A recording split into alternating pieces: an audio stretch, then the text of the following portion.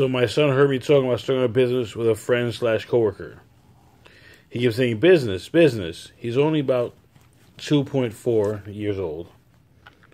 He's not even three yet, but he kept thinking about it. This is his puppy that he stole from his mom. This is piggy bank we bought him at the Dollar Tree. Yes, I couldn't find a good piggy bank to see for him. Now, really simply put, my son's already looking for business advice, business knowledge, business thoughts. Children are who you raise to be. Do you want your child to be a worker, a servant, a boss, a leader, a servant leader, a king, a demigod? Make your choice. My son will be a leader.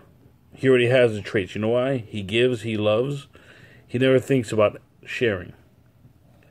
I couldn't ask for a better child. Hopefully, he'll me a better leader. Yes, you hear his voice. Dun dun dun. We're out of here. ChangeAdvance.com, PegaRefreshLens.com.